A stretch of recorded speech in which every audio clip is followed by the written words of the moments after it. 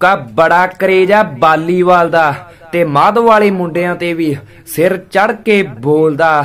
64 ਫੁੱਟ ਦੇ ਦਾਇਰੇ ਦੇ ਵਿੱਚ ਖੂਨ ਬਬਲੂ ਭਾਂਬੂ ਦਾ ਖੋਲਦਾ ਤੇ ਲਾਉਂਦਾ ਬਾਲਾਂ, ਜੰਪ ਲੈ ਲੈ। ਨਹੀਂ ਪਿੱਛੇ ਮਿੱਤਰੋ ਹਟਦਾ ਏ ਤੇ ਫੁੱਲ ਚੜਾਈਆ ਸੁਖਦੀਪ ਗਿੱਲ ਦੀ। ਬਾਲਾਂ ਧਰਤੀ ਚੋਂ ਪੱਟਦਾ ਏ ਤੇ ਪੱਕੀ ਓੜੀਆ ਡਿਫੈਂਸਰਾਂ ਦੇ ਵਿੱਚ। ਅਨੂਪ ਜਾਂਦੂ ਤੇ ਮਿੱਤੇ ਦੀ ਪ੍ਰਦੀਪ ਤੇ ਇੰਦਰਪਾਲ ਜਾਂਦੂ ਨੇ ਲੋਟ ਸਾਰੇ ਹੀ ਕੀਤੇ ਜੀ।